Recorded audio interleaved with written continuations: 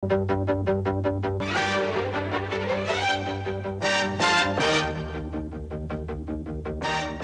amigos, tripulantes de nuestra querida, contaminada y única nave espacial.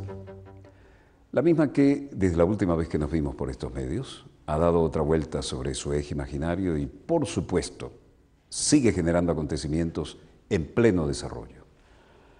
De estos acontecimientos, para variar, nos ha llevado a algunos de ellos a cambiar totalmente la pauta que teníamos prevista, porque en un raro acontecimiento, también para variar y cambiar, parecería que alguien le ha dado un prurito de, de ética, de humanidad, de conciencia, y así como hay una cumbre iberoamericana en México que tiene varias lecturas, prefiero darle prioridad a esto. La CIA, la tristemente célebre Agencia Central de Inteligencia de los Estados Unidos de Norteamérica, ha decidido, no sabemos por qué, lo que sí sabemos que es a medias, ha decidido hacer una especie de mea culpa y de autoexaminarse a sí misma. ¿no?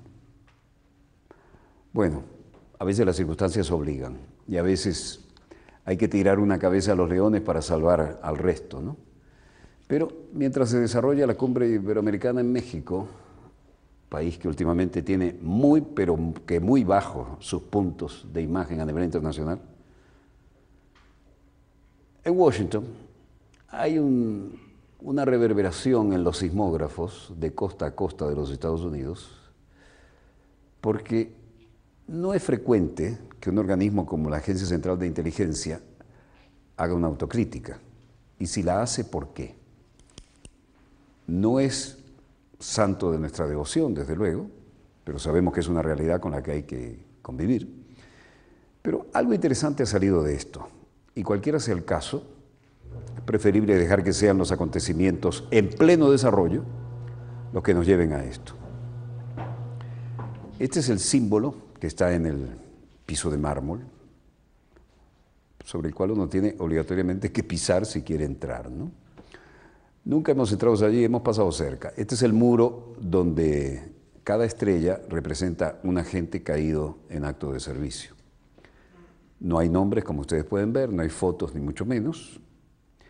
Y eso es más o menos el, templo de la inteligencia en los Estados Unidos. Ahora, ¿por qué este globo estalla y en el Senado? were ad hoc Ahora resulta que el propio Senado de los Estados Unidos de Norteamérica acusa a la CIA de mentir y torturar. ¿Oyeron bien? Descubrieron la pólvora. El Senado de Estados Unidos acusa a la CIA de mentir y torturar. Y una de sus conspicuos integrantes, la jefa del Comité de Inteligencia, la senadora Dianne Feinstein, ex gobernadora de California, cuando era una chica muy bonita, indicó que los métodos de interrogación de la CIA se usaron al menos what they were being asked 119 personas y que en algunos casos se utilizó la tortura. 119. Vaya cifra conservadora. Y que en algunos casos se utilizó la tortura. Bueno, la publicación de este resumen de 500 páginas no puede limpiar la mancha. Bien, alguien debía ser sincero. Pero puede decir a nuestro pueblo y al mundo que Estados Unidos es lo suficientemente grande para admitir cuando está equivocado y confiado de que aprenderá de sus errores, dijo Feinstein. Bajo cualquier definición que usemos del término, los Estados Unidos sepan y el mundo sepa que los detenidos de la CIA fueron torturados. Vaya, vaya, vaya. Ya es un progreso. Como medida de precaución ante posibles manifestaciones a nivel mundial por la publicación del informe, la Casa Blanca decidió incrementar las medidas de seguridad en todas sus instalaciones alrededor de nuestra querida, contaminada y única nave espacial. Su publicación ha generado mucha controversia en la capital estadounidense y ha habido debates entre los congresistas y la Casa Blanca sobre qué exactamente podría revelarse. El programa de detención fue cancelado por el presidente Barack Obama en 2009, at this pero todo lo que pasó y se barrió bajo la alfombra probablemente nunca lo sabremos. 119 individuals Así las cosas, Dianne Feinstein ha hecho su mea culpa Dice, la CIA puso un oficial subalterno sin experiencia competente a cargo de algunas operaciones. En noviembre de 2002, un detenido, por lo demás sano, que se encontraban detenidos en su mayoría desnudo y encadenado al piso de concreto, murió en las instalaciones de lo que se cree fue por hipotermia. ¿De qué creen que están hablando? ¿De qué creen que están hablando? Los centros de detenciones secretos de la CIA. Y Guantánamo no era el menor de ellos, ¿no? Dice, de los 119 individuos se encontró que habían sido detenidos por la CIA durante la vida del programa especial de detención. El comité consideró que se celebraban cumpliendo estándares adecuados. McCain, de la ultraderecha, un hombre que fue derribado como piloto en Vietnam y, y, fue torturado, dice, sé por experiencia personal que el abuso de prisioneros producirá más mal que bien para la inteligencia. Sospecho que la objeción de esos mismos funcionarios a la publicación de este informe sobre torturas de la CIA está realmente enfocado en que la divulgación no ayuda. Los terroristas podrían utilizar identificación del informe y de las prácticas como una excusa para atacar a los estadounidenses, pero apenas necesitan una excusa para eso. Ese ha sido el llamado de su vida desde hace tiempo. Obviamente necesitamos inteligencia para derrotar a nuestros enemigos, pero necesitamos inteligencia fiable. La tortura produce información, pero más engañosa que la inteligencia procesable. Bueno, McCain cuestiona sinceramente que los torturadores de la CIA creyeran que estaban bien usando esos métodos. 20 hallazgos claves sobre los interrogatorios de la CIA y que además, después de la muy programada destrucción de las Torres Gemelas, se lanzaron con todo, ¿no? Cacería abierta. Ustedes recuerdan que estas torres gigantescas, los que hemos estado en la cumbre de ellas sabemos cuán gigantescas, se vinieron abajo piso por piso en una descarada demolición controlada. Pam, pam, pam, pam, pam, pam. Y tan descarada que en esta torre donde estaba la famosa antena de la televisión, fue tan bien señalada, pam, pam, pam, pam, pam, pam, recuerdan, piso por piso, que hasta la torre aquella se hundió verticalmente. Se inclinó un poquito esta, pero esta se vino abajo perfectamente sobre sí misma. ¿Se imagina el desastre que hubiera sido esto cayéndose para cualquier lado? ¿Por qué esto, este superoperativo para generar la indignación y provocar la justificación de cualquier tipo de guerra? Porque la gente ya estaba harta de guerra. ¿Por qué pusieron en Lusitania para generar una guerra mundial el vapor de pasajeros en camino de un submarino alemán así regaladito? Ya alguien de la Casa Real había dicho, ¿y si hundieran, por ejemplo, Lusitania, ¿Estados Unidos entraría en guerra? Estados Unidos no quería entrar en guerra. Y sobre el Pentágono, nunca chocó un avión en el Pentágono. El Pentágono tiene cuatro pisos sobre la superficie. Visto desde el aire, es como una gran pizza. Para pegarle con un avión grande al Pentágono hay que ser un tronco de piloto y saber calcular bien la rata de descenso, porque si no, antes va a dejar los motores en el piso y después va a dejar contra todas estas carros y, elementos de alumbrado que usted ve, jamás hubiera llegado entero un avión al Pentágono. ¿Y dónde estaban los motores? ¿Dónde estaba la cola, que siempre hace el latigazo y se queda entera prácticamente? Esto fue otra gran mentira. Lo que pegó en el Pentágono fue un misil, jamás un avión cuando se podía volar cerca del Pentágono, volé cerca del Pentágono. El Pentágono desde el aire se veía como una pizza, así apenas levantada de la superficie. Pegarle a eso, bueno, y esto fue otra de las grandes mentiras de inteligencia, brutal, para justificar una acción a escala planetaria rompiendo todos los esquemas de la ética y de la contención. Recuerden que se vinieron piso por piso, pam, pam, pam, pam, pam, pam. Eso es la típica demolición controlada. Bueno, de esto aparecieron grandes conjeturas en estos días y muchas de ellas dicen 20 hallazgos sobre los interrogatorios de la CIA. Primero, eh, la tortura es un medio efectivo para adquirir inteligencia, sí se basaban en las alegaciones inexactas de su eficacia, esto es lo que hoy se ventiló en el Congreso. Tercero, brutal y mucho peor de lo que la CIA decía que habían actuado. Cuarto, las condiciones de reclusión de los detenidos de la CIA eran más duras de lo que en realidad nos contaron. Quinto, información inexacta proporcionada repetidamente porque se usó la tortura hasta el cansancio. Sexto, evitado o impedido la supervisión del Congreso activamente? Sí, hicieron lo imposible para que el Congreso mirara para otro lado. Séptimo, ¿hubo una efectiva supervisión de la Casa Blanca para impedir las torturas? Octavo, todo esto viene de lo que se ventiló hoy en Washington, en el Congreso. Complicado y en algunos casos impedidos las misiones de seguridad nacional. Noveno, supervisión impedida por la oficina del inspector general de la CIA. Décimo, coordinaron la entrega de información clasificada a los medios de comunicación, manipularon, sí o no. Décimo primero, sin preparación, se comenzó a operar ante la magnitud de los eventos. Décimo segundo, profundamente defectuoso toda la duración del programa de torturas con lo cual se pretendió, violando todas las normas que antes no se permitían, antes de estos eventos, extraer información por esos medios. Décimo tercero, operaciones abrumadoramente tercerizadas, es decir, metieron a medio mundo en el paquete y los hicieron trabajar para ellos, tercerizando incluso las labores de inteligencia y de tortura, porque crearon lugares de tortura secretos en todo el planeta a raíz de eso. Décimo cuarto, técnicas de interrogación coercitivas que no habían sido aprobadas, por supuesto. ¿Y cuántos de esos? Bueno, de Guantánamo hasta donde quieran irse. Décimo quince, no llevaron a cabo la contabilidad completa y exacta de la cantidad de individuos que metieron presos y que torturaron. Bueno, el campo 6 de, Guantánamo, legendario de esto, ¿no? Todo esto se llevó a cabo barriendo bajo la alfombra. No se puede evaluar adecuadamente la eficacia de esa inteligencia, Décimo séptimo, personal reprendido, ¿rindió o no rindió cuentas? Nunca. Décimo octavo, ignoraron numerosas críticas internas, críticas y objeciones sobre cómo estaban torturando. Décimo noveno, inherentemente insostenible el argumento. Bueno, y este caballerete que hizo lo posible por no ir a Vietnam y que técnicamente desertó porque no se presentó como piloto dominguero de la Guardia Nacional Aérea porque había en ese fin de semana un chequeo sobre drogas y alcoholismo.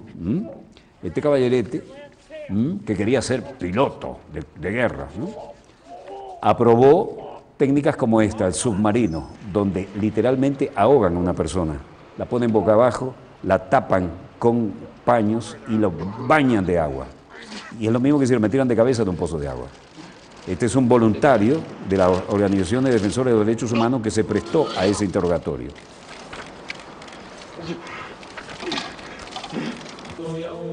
La justificación de la CIA para el uso de sus técnicas de interrogatorios mejoradas, entre comillas, descansaba en alegaciones inexactas sobre su eficacia. Y luego nos hablaron del terrorista más buscado del mundo, de una familia que he hecho, había hecho negocios, familiares del mismo apellido, con figuras importantes que llegaron a la Casa Blanca. ¿no? Se fabricó el necesario terrorista más buscado del mundo. Bueno, esto dio lugar a que los comités electos de inteligencia hicieran lo que les diera la gana. Las torturas fueron mucho peores que lo admitido por la CIA, según se ventiló hoy en el Senado de Estados Unidos. Publicó hoy un informe sobre las brutales técnicas de tortura que usó para interrogar sospechosos tras los atentados de 2001 lo que preocupa ahora a la clase política y al lado de Washington, incluso a los países donde llevaban los prisioneros para torturarlos fuera de Estados Unidos y poder mentir. Polonia es uno de ellos. Laura Pitcher, asesora de seguridad nacional de Human Rights Watch. La tortura es ilegal, es inmoral, está mal y no funciona. Y los Estados Unidos excedieron la autoridad, el 9-11, y se utilizó la tortura cuando nunca se debió hacer, y como vemos en este informe, la realidad fue ineficaz para luchar contra el terrorismo. Miles de páginas, 6.700 páginas de una en esta. Laura Peter dijo, el submarino, esta tortura que acabamos de mostrarles, claramente una tortura, se había prohibido por el derecho estadounidense y fue procesado en los tribunales estadounidenses en el pasado. El uso de estas posturas en tensión durante periodos prolongados de tiempo, más la privación de sueño, más todas estas técnicas combinadas durante meses tras meses, eran extremadamente brutales. Y ya sabes, poner a estos detenidos en situaciones extremadamente estresantes y dolorosas. Esa era la meta ¿Cuántos detenidos? ¿En cuántos lugares en el mundo? ¿Por qué ahora es que nos venimos a enterar? ¿Mm? Y luego dijo, bueno, es ilegal todo esto según el derecho internacional para que cualquiera pueda seguir en un orden o bajo un orden manifiestamente ilegal. Pero en realidad los culpables en este caso son los altos funcionarios estadounidenses que autorizaron los abusos sabiendo que todo esto era ilegal. Ellos son los que están en la parte superior de la responsabilidad y son los que necesitan ser responsables de estos crímenes. Por supuesto, documentos desclasificados que antes eran difíciles de manejar. Y esto salpica a países como Polonia, Rumania, donde se llevaban a la gente para decir, no, en este país no se tortura. Claro, tenías tus siwises en otras latitudes y longitudes que te permitían llevarlos allá por vía aérea y torturarlos como te diera la gana. El secreto protege a los países implicados y el informe de hoy del Senado sobre el programa de interrogatorios absolutamente ilegales y de detenciones de la CIA no menos ilegales no detalla los países que acogieron los numerosos centros de tortura de la CIA en el exterior, pero empezó a pensarse en esto en el otoño del 2001, tras los atentados del 11S, en instalar prisiones secretas en el extranjero. Y estas sí operaron desde 2002 al 2006. Esta es una vieja base aérea que está en el mapa de Constanta, un viejo MiG-29, imagínense, en todas las latitudes, en Rumania, por ejemplo, y por supuesto en Polonia, se los llevaron para allá, los torturaban allá. Y según un análisis del documento que hace el diario The Washington Post, había nueve centros secretos, cuatro en Afganistán y otros en la base naval de Estados Unidos en Guantánamo, Cuba, en Polonia, en Rumania, en Lituania y tan lejos como Tailandia. El informe tampoco facilita los nombres de los centros de detención. El mencionado con mayor frecuencia, en 166 ocasiones, es un centro de detención y tortura llamado Cobalto, que llegó a albergar más de la mitad de los 119 detenidos identificados, por lo menos los que están identificados en el documento, dado a conocer hoy. Esa cárcel inició sus operaciones en septiembre del 2002, según publica The Daily Beast, a partir del análisis de los detalles descritos que llega a la conclusión, se trataba de un centro conocido como Salt Pit en Afganistán. Como anticipo del malestar que podía generar en algunos países la difusión del informe, porque ahora esto salpica a los que fueron aliados en toda la guerra sucia de Estados Unidos, el presidente Barack Obama y la primera ministra polaca Eva Kovács hablaron por teléfono ayer. El Tribunal Europeo de Derechos Humanos condenó en julio al gobierno polaco a indemnizar a dos presuntos terroristas que estuvieron confinados en uno de esos centros secretos. La CIA tenía nueve centros secretos, cuatro en Afganistán, el resto en la base naval de Guantánamo, Cuba, y el resto en Polonia, Rumania, Lituania y Tailandia, como hemos dicho. También había países occidentales, naturalmente. Desde el principio del programa, la CIA afrontó desafíos significativos en la búsqueda de países dispuestos a acoger sitios clandestinos de detención y tortura con la excepción de un país que no mencionan, que no mencionan, pero que tal vez estamos viendo, la CIA fue forzada a recolocar a los detenidos fuera de cada uno de los países en los que había centros de detención, y esto por la presión del gobierno de acogida o revelaciones públicas escandalosas del programa. El documento asegura que uno de los factores que llevó al fin el programa en el 2006 fue la reducción de la cooperación de las naciones que antes se prestaban para este trabajo sucio. El documento no entra en detalles sobre cómo eran transportados los detenidos ni dónde se hacía escala. Según una investigación judicial en enero del 2004, 13 agentes secretos de la CIA hicieron escala en Palma de Mallorca en un avión civil en el que permaneció secuestrado Khaled al-Masri, un alemán de origen libanés que posteriormente fue trasladado a la cárcel de Kabul, donde fue torturado interminablemente. El pasado septiembre, el juez de la Audiencia Nacional, Ismael Moreno, decidió archivar el caso del vuelo de la CIA que recaló en Palma de Mallorca. ¿Por qué decidió archivarlo? Tenéis mala conciencia, hombre. Alegando la imposibilidad de lograr la identificación real de los miembros de la tripulación. Bla, bla, bla, bla. Berlín, por supuesto, tenía algo que decir, pero no se dijo. La alerta máxima ahora está en todas las embajadas de las bases y bases militares de Estados Unidos en ultramar. ¿Por qué? Porque se teme que revelado esto vengan las represalias. Todas las embajadas de Estados Unidos en alerta máxima. funcionario del Departamento de Estado y otro de la comunidad de inteligencia confirmaron a la cadena Fox News este lunes que las sedes diplomáticas, las bases militares y cualquier otra dependencia recibieron indicaciones de fortalecer las medidas de seguridad ante posibles actos de violencia. Estados Unidos blinda a sus embajadas ante posibles ataques por el informe de las torturas brutales de la CIA a escala industrial y planetaria que se filtró finalmente hoy. El Comité de Inteligencia del Senado publicó hoy el anticipado informe del que hemos hecho detalles sobre el uso de controvertidos procesos interrogatorios de sospechosos y miembros de Al-Qaeda retenidos en instalaciones secretas en Europa y Asia en los ocho años posteriores a los ataques terroristas del 11 de septiembre del 2001 en Estados Unidos. Aún así, no esperan ataques tan violentos como los que mataron a cuatro estadounidenses en la embajada de Benghazi en el año 2012. Pero todos están en la máxima tensión, en la paranoia de la seguridad. Así lo confirmó el portavoz de la Casa Blanca hoy. Y lo dijo del gobierno de Barack Obama. Esta divulgación de los detalles va a traer algunas consecuencias, pero hay que hacerlo. La Administración lleva meses preparándose para la publicación de este informe. Hay algunas indicaciones de que la divulgación del informe podría llevar a mayor riesgo para las instalaciones e individuos estadounidenses en todo el mundo. Esto no lo dijo Obama, lo dijo Ernst en su conferencia de prensa. Por eso la Administración ha dado los pasos prudentes para asegurarse de que se implementen las precauciones adecuadas de seguridad en todas las instalaciones de Estados Unidos, diplomáticas, militares o lo que sea, en todo el mundo. El Pentágono emitió una directriz a los comandantes militares en todo el mundo para que permanezcan en alerta especial por la publicación del informe. Ciertamente hay una posibilidad de que la publicación de este informe pueda provocar agitación y por tanto se ha ordenado a los, a los comandantes y combatientes que tomen las medidas adecuadas de protección de las fuerzas.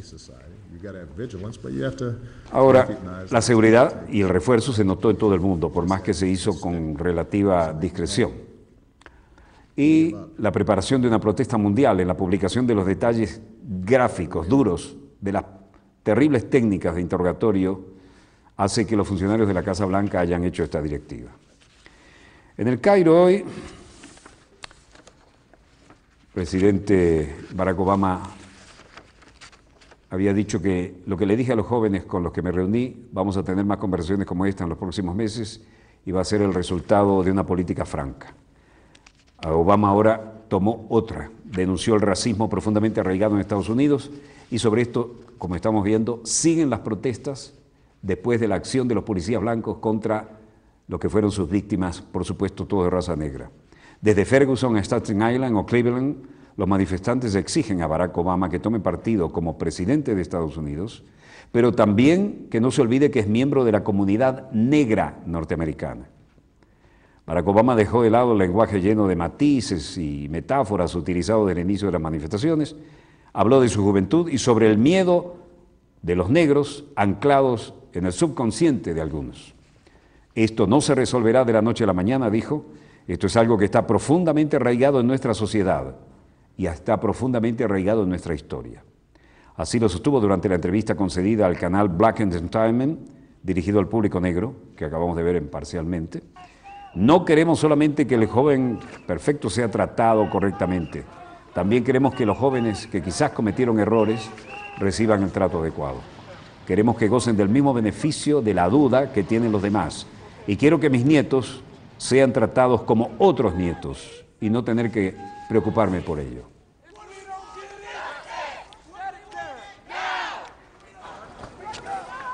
Ahora la protesta ya era interracial.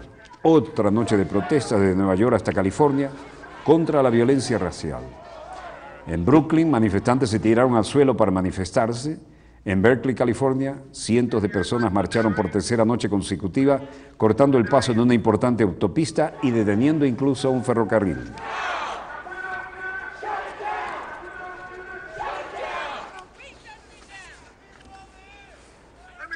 Y como la nota significativa, los jugadores de la NBA en Nueva York apoyaron las protestas contra las muertes racistas a manos de la policía.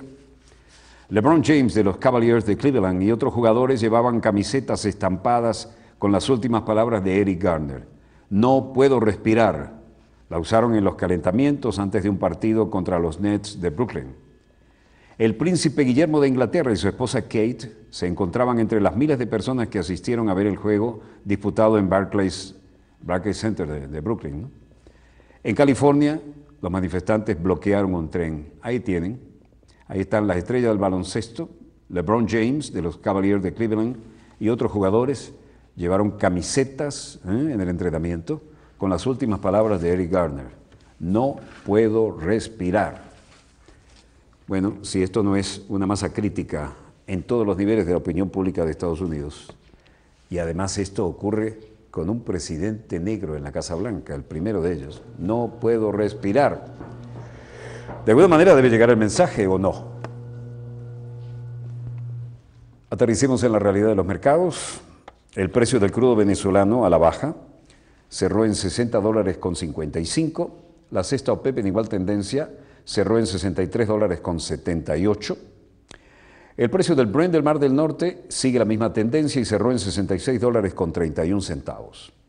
El precio del oro, 1.230 con 50 la onza, subió. Inestabilidad, la gente se refugia en el oro.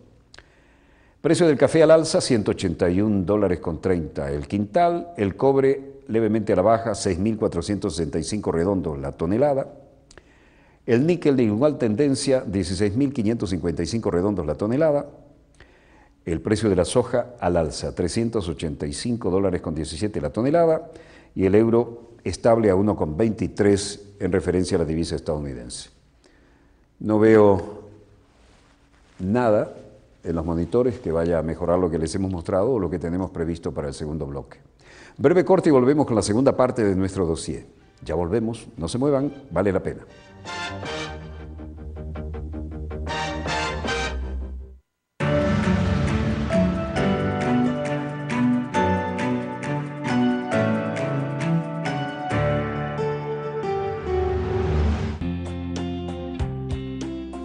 Casi 200.000 libros sobre economía y ciencias afines, base de datos en línea, áreas adecuadas para la consulta y el estudio.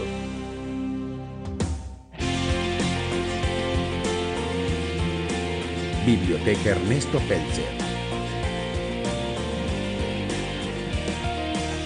Tu espacio.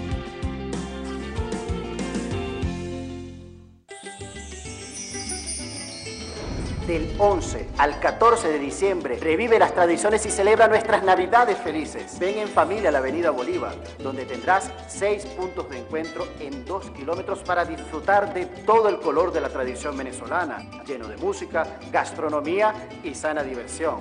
Es tiempo de unidad y de un victorioso año 2015. No te lo pierdas, te esperamos en la Bolívar.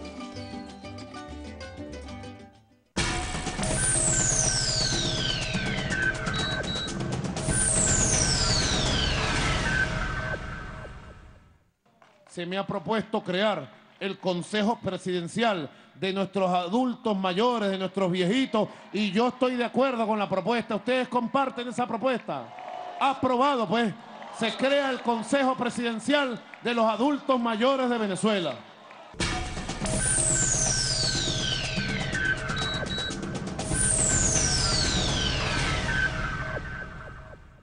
La energía eléctrica está presente en casi todo lo que hacemos. Venezuela tiene la mayor generación eléctrica per cápita de la región, pero también el más alto consumo. Esa energía que proviene en un 65% de las centrales hidroeléctricas es afectada por el cambio climático. Es tiempo de hacer algo. Entra en la banda verde. Racionaliza tu consumo. Gobierno y pueblo unidos crean conciencia. Soy consciente. Consumo eficiente.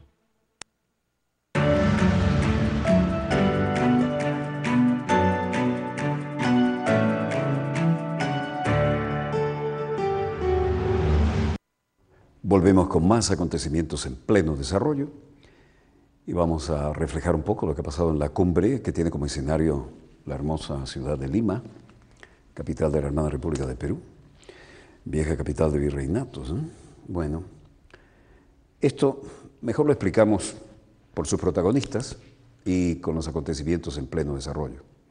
Esto representa, de alguna manera, otro de los intentos de formar coincidencias, sinergias, voluntades para sacar adelante algunas de las agendas que siempre han caracterizado nuestras preocupaciones y la de cualquier persona bien nacida. Ya verán por qué.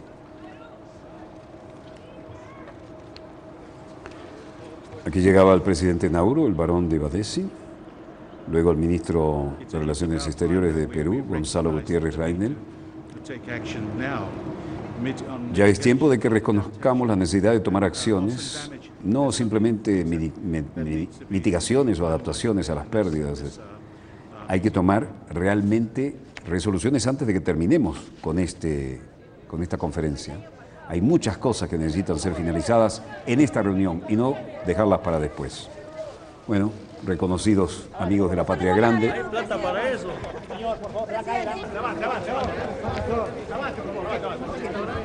Por favor, déjale espacio, déjale espacio, por favor, déjale espacio, déjale espacio. La gran conferencia sobre el cambio climático se inició con segmentos de alto nivel. Entrando un proceso, eh, digamos, ya la etapa más eh, álgida, si quiere, de las negociaciones en los dos documentos. El documento sería la, la prebase para el acuerdo de cambio climático y una decisión que tiene que salir de aquí de la conferencia en Lima.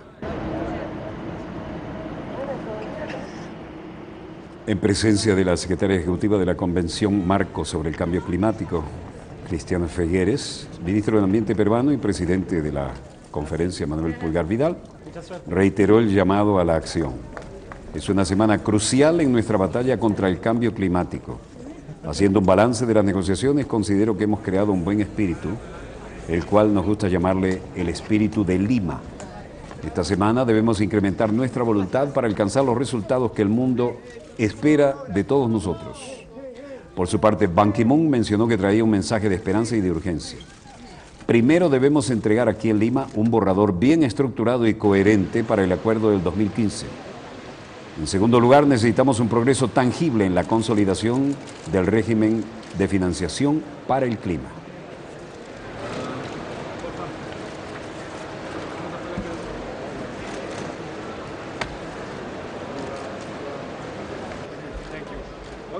Sobre este tema, mucho se ha hablado en todas las conferencias pero ahora parece que se ha tomado conciencia de que nuestra querida, contaminada y única nave espacial requiere soluciones ahora.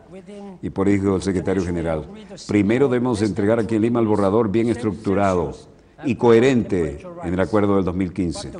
Tenemos que actuar ahora, no hay tiempo que perder. Esta es la oportunidad de permanecer dentro del límite máximo acordado internacionalmente de menos de 2 grados centígrados para la subida de la temperatura global. Pero la ventana de oportunidad se reduce rápidamente. Todos los países deben ser parte de la solución. Toda la sociedad humana debe ser activada. Este no es un tiempo para retoques, es un tiempo para la transformación.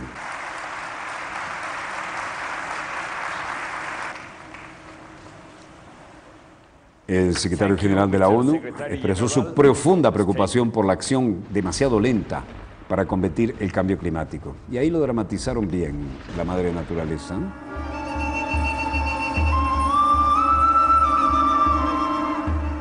Volviendo a nuestros primeros habitantes en la patria grande, que siempre respetaron la naturaleza, se pueden extrapolar por el respeto a la Pachamama algunas verdades.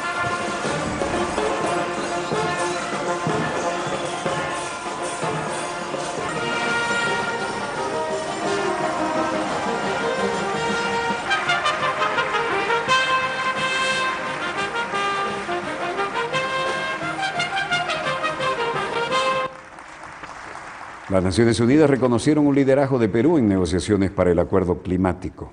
Nos encontramos en la antesala de la destrucción de la madre tierra y ante la desaparición de la especie humana.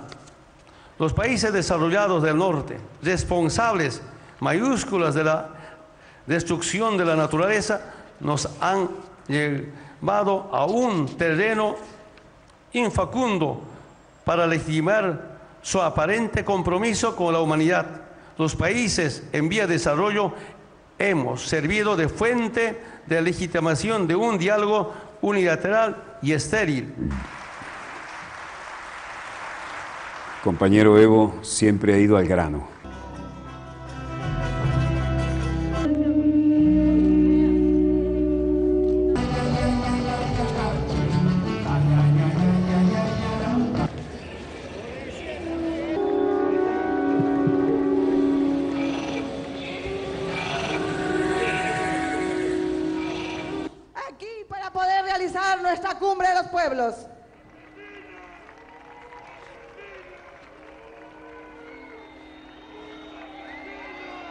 Se busca en esta cumbre es tener una propuesta que en su momento será llevada a, la, cumbre oficial, ¿no? a la, a oficial que está reunida en el Pentagonito, donde se alcancen nuevos temas importantes para hacerle frente al cambio climático. Debemos unir fuerzas para defender a nuestra madre tierra, defender la soberanía alimentaria.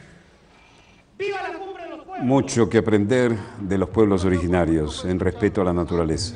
actualmente en la COP20, porque nosotros estamos en las afueras de la COP20. Los gobiernos están adentro en, la- en el evento oficial, nosotros estamos en el pabellón indígena, eh, reflexionando, eh, poniendo nuestro punto de vista, reclamando, denunciando los, eh, los hechos eh, graves que están ocurriendo en los territorios indígenas. ¿Vieron lo que dijo? Los gobiernos están adentro y nosotros que reclamamos por los hechos graves nos dejaron afuera. Se dijo que era muy importante llegar a un acuerdo al final en París, Francia, el próximo año. Acordamos que todos los países debemos bajar las emisiones para el 2020 y no se puede subir más de 2 grados de temperatura. Es importante encontrar la fórmula, imprescindible. Mientras tanto, en Doha, Qatar, veíamos los retratos del emir de Qatar, Sheikh Tamim bin Hamad Al Thani. Los países del Golfo parecen dar por zanjada su crisis con el cambio de postura de Qatar. La capital catarí fue precisamente la sede de esta cumbre de jefes de Estado y altos responsables de los países miembros del Consejo de Cooperación del Golfo, que abarca Arabia Saudita, Emiratos Árabes Unidos, Bahrein, Qatar, Kuwait y Omán. La llamada declaración de Doha, leída durante la clausura de la reunión celebrada hoy, señaló la importancia de iniciar un nuevo periodo basado en la solidaridad y la soberanía nacional de los países del Golfo sin injerencias en los asuntos internos. Dieron por concluida la crisis surgida por las distintas posturas respecto a los hermanos musulmanes y que se significó en marzo pasado con la retirada de los embajadores de Arabia Saudita, de los Emiratos, Bahrein y de Doha.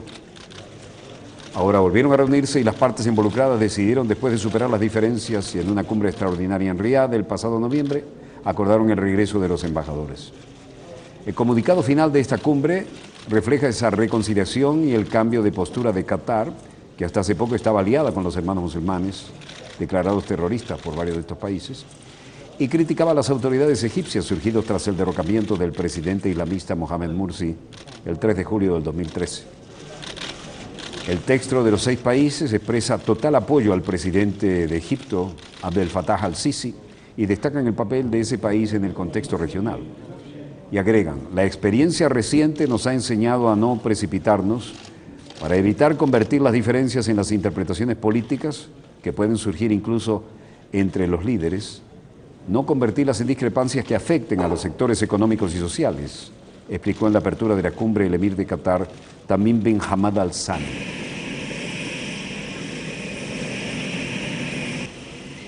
En Irak, las cosas no han mejorado demasiado y el ministro de Defensa Khaled Al-Bayt Al-Aspihar en la base aérea con gran, con gran escolta por la forma en que están las cosas, hacía presencia y en vehículos blindados se acercaban a los teatros de operaciones. Khaled Al-Obaide dijo,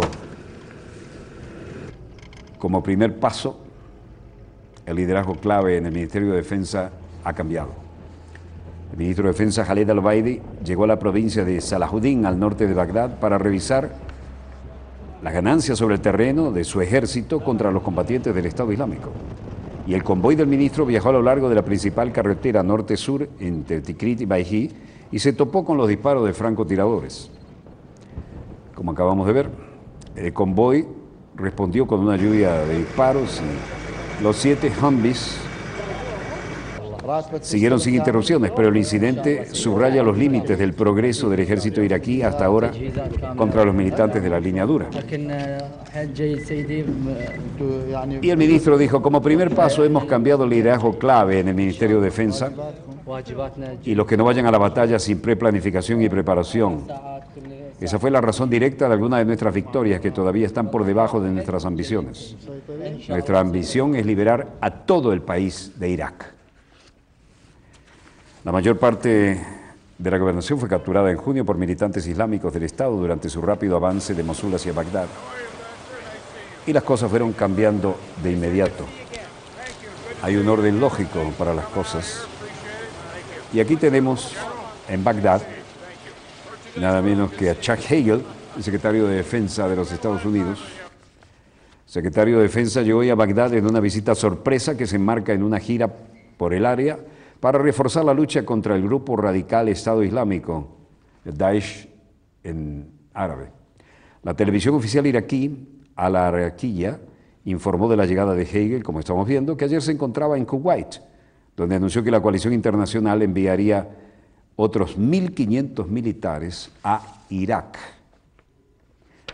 ¿Qué se va a lograr con esto? Mm, bueno, en principio fueron muy discretos, nos mandaron las imágenes, pero no el audio.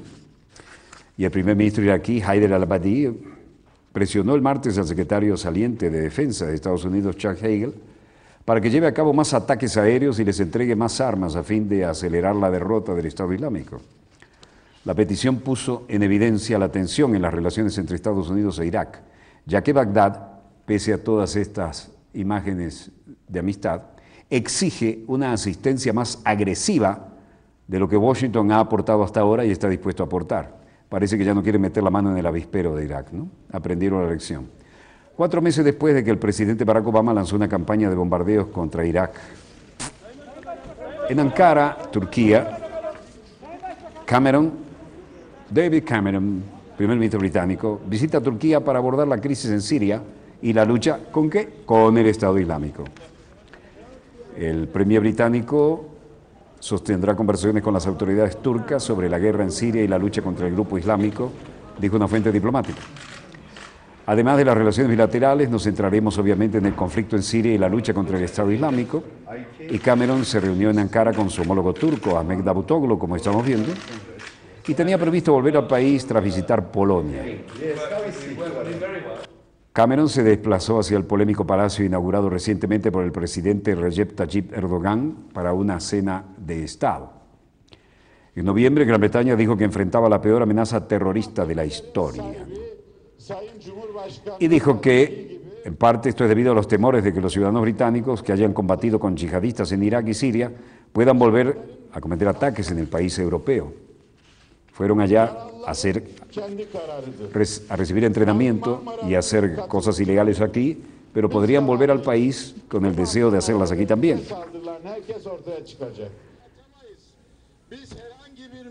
Hay una protesta sobre Turquía, y aquí hablaba Bülent Gilidrim de la Fundación para la Ayuda a los Derechos Humanos.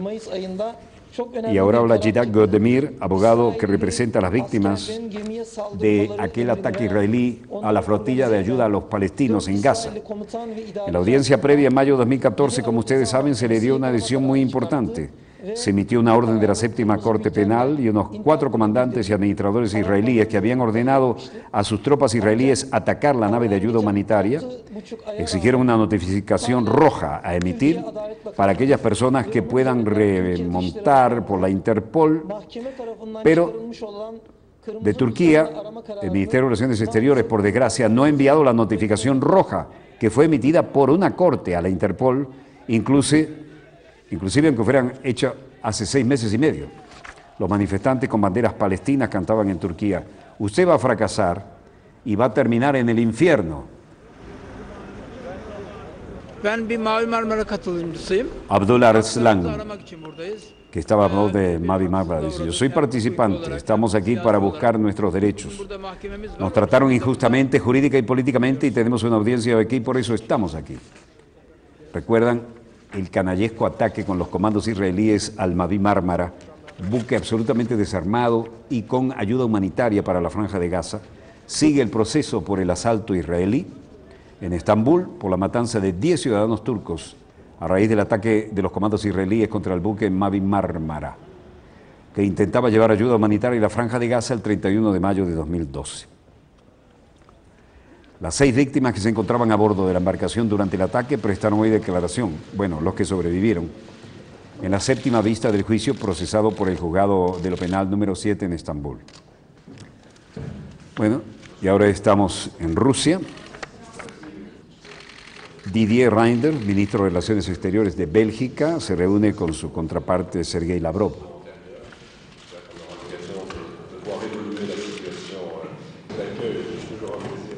Importante reunión bilateral en Moscú y Didier Reinders, canciller belga, dice.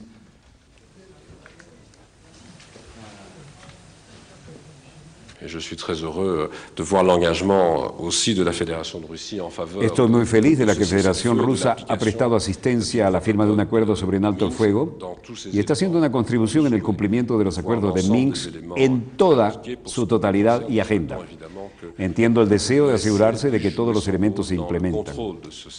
Obviamente deseamos que se permita a la Organización para la Seguridad y la Cooperación Europea desempeñar un papel importante en el control del alto el fuego mediante el aumento de su presencia en todo el territorio y en el este de Ucrania.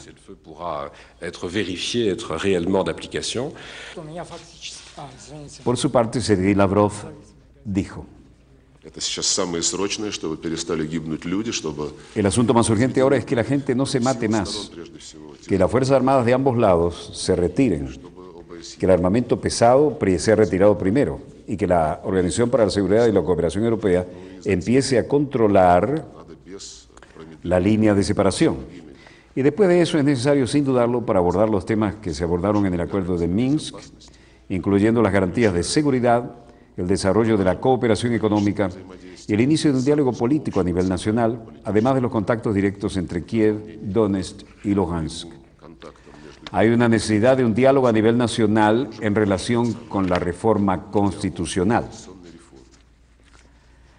Y luego agregó, Alemania ha desempeñado tradicionalmente un papel muy constructivo en las relaciones entre la Unión Europea y Rusia, en, las relaciones entre Occidente y Rusia sobre la totalidad de la agenda. Y si Alemania decide cambiar una política de diktat, así la definió, política de diktat de parte de Alemania, creo que Europa no se beneficiaría de eso y tampoco habría Alemania. Yo no creo que a los alemanes les gustaría que le aplicaran lo mismo.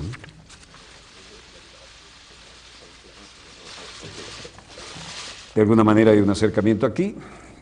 Esta, por lo demás, es la sede de la Cancillería. Y por lo que respecta al resto de la política internacional, no hay argumentos para pensar que no se van a cumplir los elementos que han sido programados. Y sobre este particular,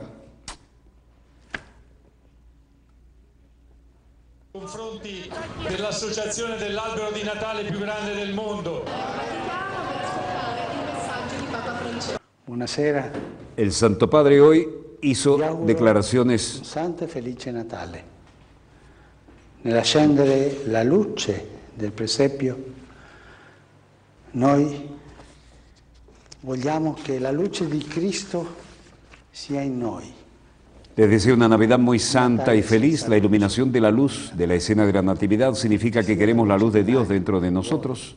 Una Navidad sin luz no es Navidad, pero necesitamos la luz dentro de nuestra alma, en nuestro corazón. Tenemos que perdonar a los demás y asegurarnos de que no hay enemigos, porque eso trae sombra. Queremos que la luz de Jesús, que es tan hermosa, me gustaría que esto para todos ustedes también lo tengan, que nos ilumine a todos con esta luz. momento accendere la luce del presepio. Luego dijo, espero que haya luz en sus corazones, en sus familias y en su ciudad. Y ahora con ese deseo, vamos a encender las luces. Se refería a la ceremonia tradicional en el Vaticano. la luce. El árbol de Navidad de la Santa Sede y el presidente del Comité del Árbol, Lucio Constantini.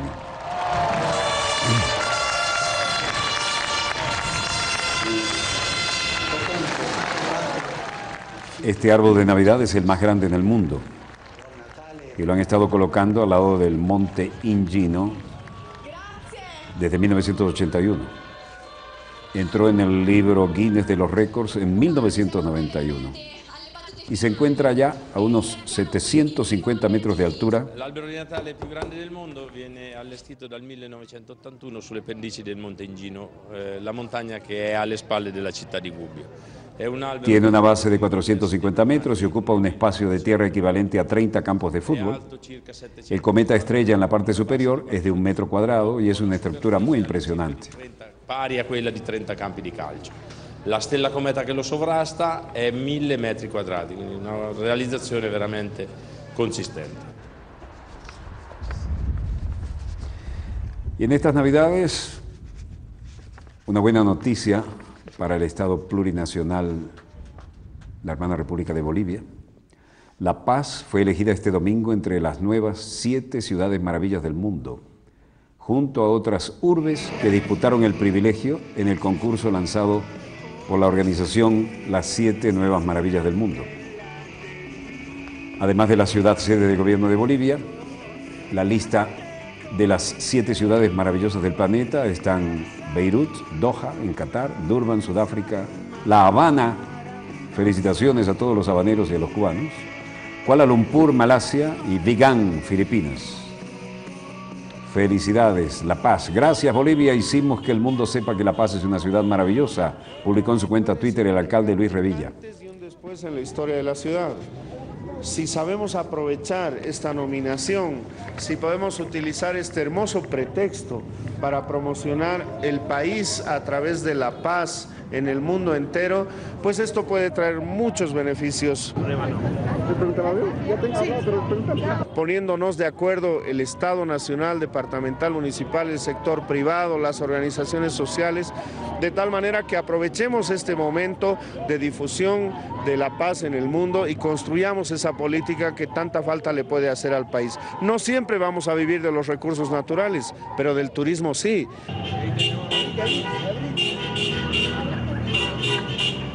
De esta manera, los paseños festejan que su querida ciudad está entre las siete maravillas del mundo. Además, Nos sentimos muy orgullosos de que nuestra ciudad haya ganado en las siete maravillas del país, ¿no? Estamos muy felices, por eso hemos venido aquí a festejar.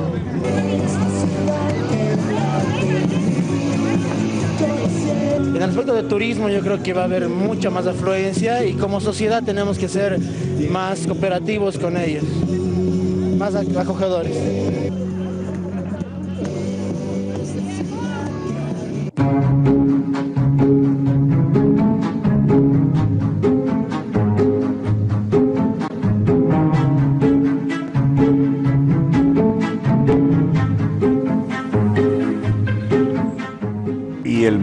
Militante barrio del Alto, ¿no? Cuando el Alto estornuda, la paz se refría socialmente. Hay una luminosidad especial en La Paz, pero hay que saber caminar lento si uno no está acostumbrado a ella. La Guardia de Honor de Palacio Quemado, realmente a la altura que está La Paz, no es como para que los que no están bien entrenados y no son paseños se pongan a inventar carreritas. Bueno, dejamos la Guardia de Honor, los rojos, que son aquellos que ponen la seguridad para el compañero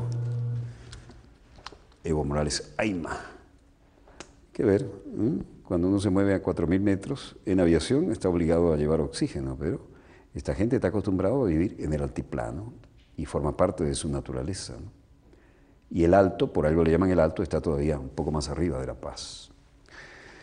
Bueno, interesante jornada hoy que termina aquí y volveremos mañana, Dios mediante, cuando nuestra querida, contaminada y única nave espacial haya dado otra vuelta sobre su eje imaginario y estemos aquí para contarles la pequeña gran historia de las próximas 24 horas. Donde quiera que se encuentren de ese lado del receptor, Muchas gracias por permitirnos estar allí con ustedes. Desde el estudio 3 de Venezolana de Televisión, les habló Walter Martínez, productor y conductor de Dossier. Disponga usted de las cámaras, señor director.